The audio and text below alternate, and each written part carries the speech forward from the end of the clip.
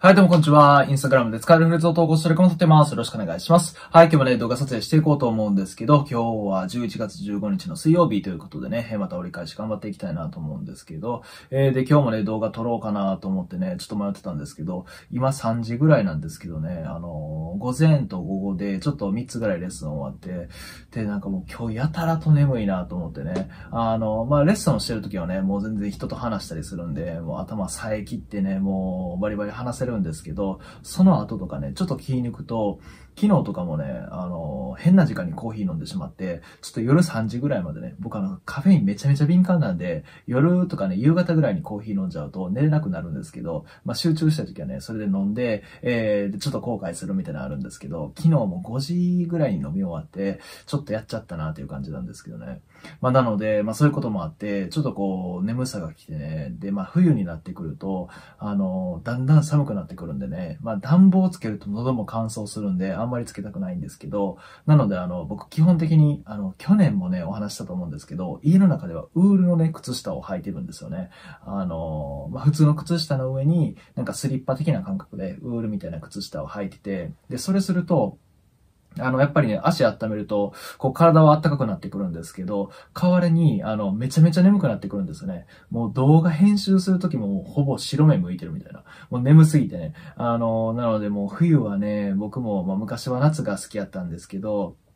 最近はね、あんまり暑すぎると、それはそれでしんどいなっていうね、こう年齢を、あの、老いを感じてはきてはいるんですけどね。まあそんな感じで冬は冬でね、もうこの眠さとの戦いもあったりするんでね、ちょっと皆さん、あの、もしよかったら、あの、こんな感じのことすると目が覚めますよっていうのがあったらね、ぜひコメント欄で書いてもらえたらと思います。じゃあね、今日も英語の話に移っていきたいなと思うんですけど、じゃあ今日何の話をしていくかというと、皆さんね、日常で何々すぎて何々できないっていう時あると思います。例えばね、えー、今日は寒すぎて布団から出られないとかね、えー、そういうフレーズ日常でもかなり使うと思うので、その言い方について紹介をしていきたいと思います。これもね、文法のルールさえ覚えてしまえば、あとはね、それを使いこなして、いろんなね、文章に入れていくだけなので、えー、皆さんもね、ぜひ覚えて使ってみてください。じゃまず早速なんですけど、何々すぎて何々できないっていうのは、こちらを使って表すことができます。To 形容詞、副詞 to do の形ですね。これでよく to to 構文とかって言われたりするんですけど、使い方としては形容詞もしくは副詞すぎて to do できないっていうような感じですね。これはね、まあ発音注意点もあまりないので、実際に使いながらね、覚えてもらえたらと思います。じゃあね、早速なんですけど、文章の方に移っていきたいと思います。じゃあまずね、1問目からいきたいと思うんですけど、先ほど言ってた、寒すぎてベッドから出られない。寒すぎてベッドから出られない。これどんな感じになるかわかりますか？これ英語で言うと、こんな感じで言うことができます。It's too cold to get out of bed.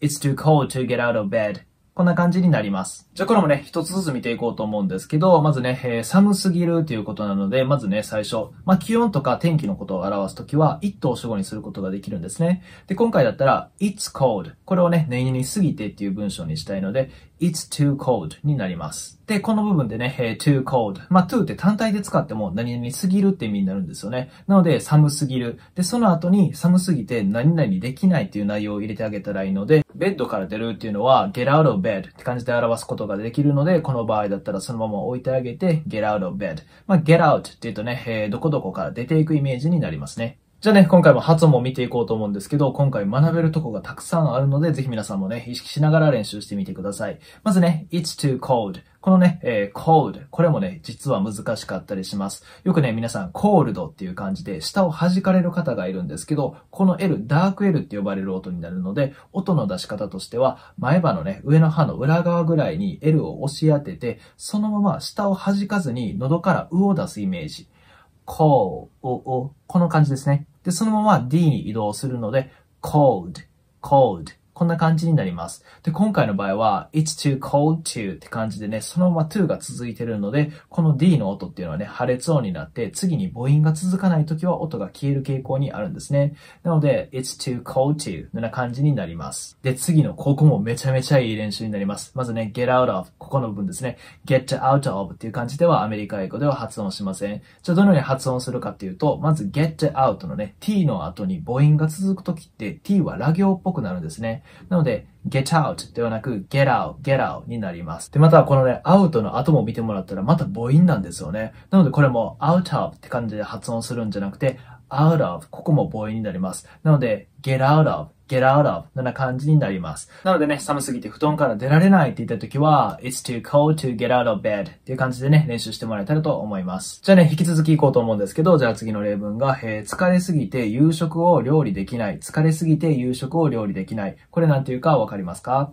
これを言うと、こんな感じで言うことができます。I'm too tired to cook dinner.I'm too tired to cook dinner. こんな感じになります。じゃこれもね、一つずつ見ていこうと思うんですけど、じゃ今回ね、えー、疲れすぎて料理ができない。これ誰がかというと、私がですよね。なので、今回主語は I になります。で、I'm too tired ですね。じゃあ、疲れすぎて何ができないかっていうと、料理をすることができないで、今回だったら夕飯をっていうことなので、to cook dinner になります。じゃあ、これね、発も見ていこうと思うんですけど、まずね、I'm too tired。この tired の D も先ほどと同じ原理で破裂音になって、次に母音が続いてないので音が消えます。D を言う前に止めるイメージですね。I'm too tired to っていうような感じになります。じゃあその後ね、どうなるかっていうと、cook dinner っていう感じになります。で、この cook の K もね、破裂音になるんですけど、まあ、ここもね、こう、くって言う前に止めるイメージ、シーンだけで止めてもいいかなと思います。to cook dinner のような感じになりますね。to cook dinner っていう感じで強くならないように意識してみてください。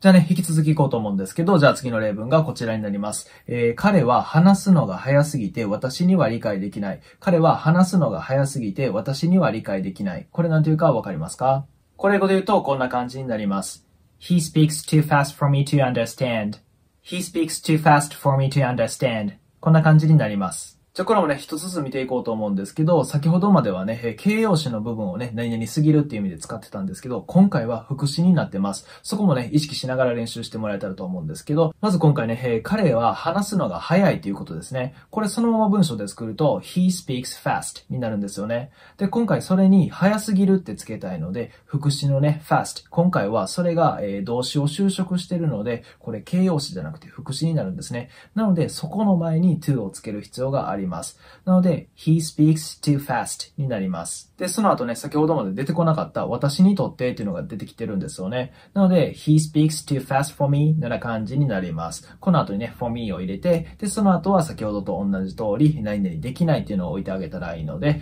to understand になります。じゃこれもね、発音も見ていこうと思うんですけど、これね、えー、皆さんよく間違われる箇所があるので、ぜひ皆さんね、間違ってないか確認してもらえたらと思います。これね、えー、he speaks too fast このね、fast の部分ですね。これ早くって意味なんですけど、よく皆さんね、fast っていう感じで R の音を入れられる方がいるんですよね。ここでは R の音を入れずに R と A の中間音で fast fast な感じになります。で、今回だったら t の後ね、母音が続いてないので音が消えても OK ですね。fast for me のような感じになります。で、次の for なんですけど、これも F の発音になるので、先ほどの fast もそうですね。下唇の粘膜あたりを上の歯で押さえて、fast for me のような感じで発音してもらえたらと思います。t がなくなったら fast for me のような感じになりますね。で、最後ね、えー、to understand なんですけど、これも実はね、ちょっとね、コツがあったりします。アメリカ英語では understand 最後の方がね、アートへの中間音になるんですね。なので、understand っていうよりも understand って感じで、ちょっと A に近くしてあげると、よりネイティブっぽく聞こえるかなと思います。なのでね、えー、皆さんもそこも注目して、he speaks too fast for me to understand っていう感じでね、発音してもらえたらと思います。います